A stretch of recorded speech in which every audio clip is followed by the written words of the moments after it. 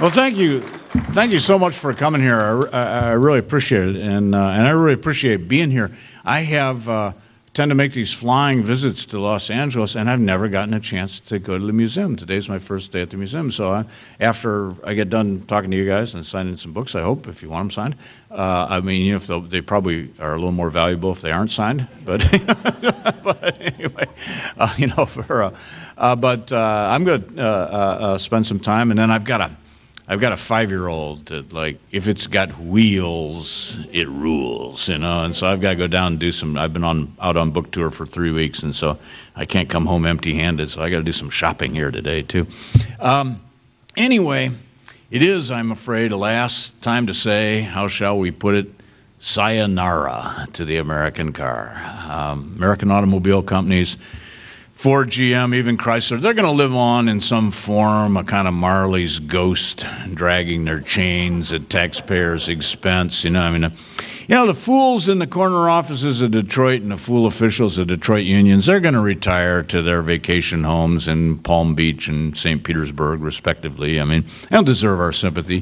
They don't deserve our sympathy any more than the malevolent trolls under the Capitol Dome in Washington do. But pity the poor American car when Congress and the White House get through with it. I mean, a lightweight vehicle with a small carbon footprint using alternative energy and renewable resources to operate in a sustainable way.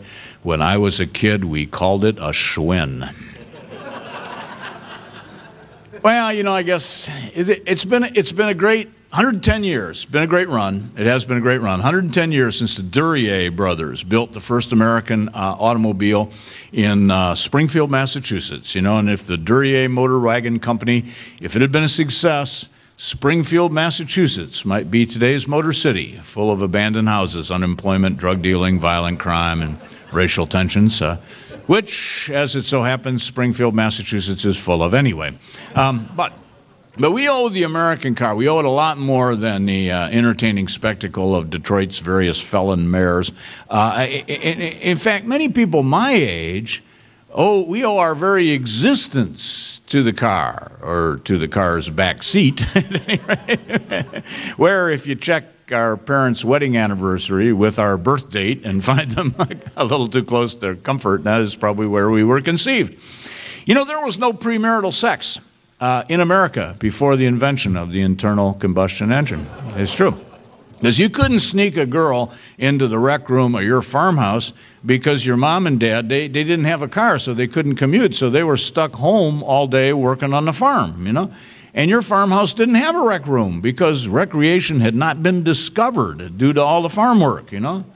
Uh, odd Saturday night, you could take a girl out in a buggy, but it was hard to get her into the mood to let you bust into her corset because you know, two of you were facing the hind end of a horse, you know, and it just spoils the atmosphere, you know. So, so the car, the car let us out of the barn, and, and while the car was at it, the car destroyed the American nuclear family, and anyone who has had an American nuclear family can tell you that that was a relief to all concerned. Um, and cars caused America to be paved. Uh, eh, eh, there are much worse things you can do to a country than pave it, as the Sudanese have been proven over in Darfur. You know, and, and one of the things I've always wondered is why, why, why we never hear a thank you, never hear a word of thanks, us car people, for getting all of America paved from those kids in the in the body casts who skateboard all the time. Not not not a word of thanks.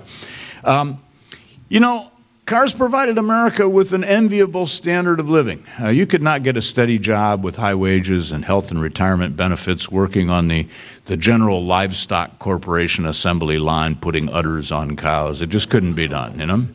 And, and I think that, that, that, that, that, that the American car was a source of, of, of intellectual stimulation, intellectual stimulation. Because if you think of the innovation, the, the, the, the invention, the sheer genius, that transformed the 1908 Model T Ford into the 1968 Shelby Cobra GT 500 in the course of one single human lifetime full of speeding tickets. You know? I mean, compare this to the progress in the previous mode of transportation Horse production, horse design, unchanged for thousands of years, you know. And you know, when it comes to creativity with the horse, I actually did a little research on this when I was writing about this stuff. I looked it up. You know, nobody thought to put a stirrup, nobody thought to hang a stirrup from a saddle until about 500 AD. The stirrup was invented in 500. People have been riding horses for thousands of years, and it took them till 500 AD to invent this. Where were they putting their feet? I mean, what was you know, you know, if automobile design and engineering had proceeded at the same pace as, as, as horse design and engineering, we, we would be powering ourselves down the road by running with both of our feet stuck through a hole in the floor like Fred Flintstone, you know. Although it may come to that with the 2010 Obama mobile. but most important of all, most important of all, was that cars fulfilled the ideal of America's founding fathers. If all, of all the truths that we hold to be self evident, of all of the unalienable rights with which we are endowed, which one is most important to the American dream? It is right there, front and center, flat in the name of the Declaration of Independence freedom to leave, freedom to get out of town, freedom to get the hell out of here. You know, King George, can I have the keys? You know, that's what the Declaration of Independence says. You know, now I got to tell you, the saga of the American car. This is not an abstract matter to me. This is this is no subject of fanciful theories.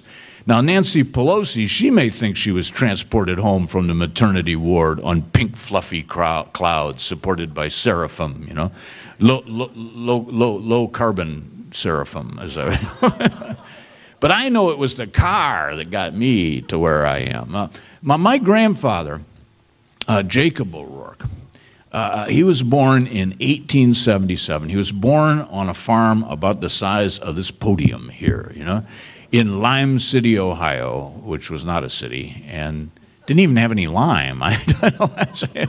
he was one of 10 kids. Grandpa was one of 10 kids. They grew up in a one room, unpainted shack. I have a photograph of them lined up by age, you know, staring at the photographer, amazed to see someone in shoes. You know, I mean, my great grandfather, my great grandfather Barney, he was a woodcutter in the Midwest where there are no trees unemployed quite a lot, also drunk, also illiterate. Uh, I, have got a copy of Barney's marriage certificate with Barney's ex right there. You know, Barney's only accomplishment, aside from the ten prizes that he won on the uh, corn shuck stuffing of the poor man's roulette wheel there, uh, the only thing that Barney ever accomplished in his life was he, he he trained a pair of old nags to haul him home dead drunk. He would fall out of the tavern, pass out in the wagon, and the horses would bring him home. That was what he accomplished in his life. Grandpa Jake, he, uh, he left home armed with a fifth grade education, heading for the bright lights of Toledo, Ohio. And he went to work as a buggy mechanic, a buggy mechanic. And then one day, a horseless buggy pulled up at the shop. And Grandpa saw that, and he saw the future, you know. And he fixed that too. And it didn't take Grandpa long to realize that cleaner hands were to be had and more money was to be made selling the things instead of repairing them. Know? and, and, and, and, and also, my Uncle Arch's birth date and Grandma and Grandpa's wedding anniversary were a little too close for comfort. And so, anyway, he got into car business. He got into car business, and, and, and by the time that I came along in the 1940s, uh, we, we had O'Rourke Buick, and Grandpa and, and, and my Uncle Arch owned the dealership, and my father was the sales manager, and Dad's younger brother Joe ran the used car lot, and baby brother Jack was the salesman, and cousin Ide ran the parts department, and all the aunts and the girl cousins worked in the office, and all the boy cousins and, and, and me, we all worked out on the car lot, you know, cleaning and waxing the cars, and Arch's son-in-law, my cousin Hep, would go on to run the Ohio Car Dealer Association, and I would go on to do, you know, whatever it is that, that I do uh, in, in, in this book, and write about cars and stuff. Uh, I tell you though, there's still even in these dark days for the American automobile, there are times I wished I'd stayed in Toledo and taken over that Buick agency because really just to be on those late night TV local car dealership ads. I got this whole idea. I want to do uh, I want to do Pirate Pat's Treasure Island Buick, and I come out with a parrot on my shoulder and one of those big hats and an eye patch. Arr, mateys, you know, okay? on down to Pirate Pat's Treasure Island Buick where prices walk the plank. Don't miss our pieces of V8 used car lot, you know, free, free chocolate doubloons for the kiddies. it's been a great life.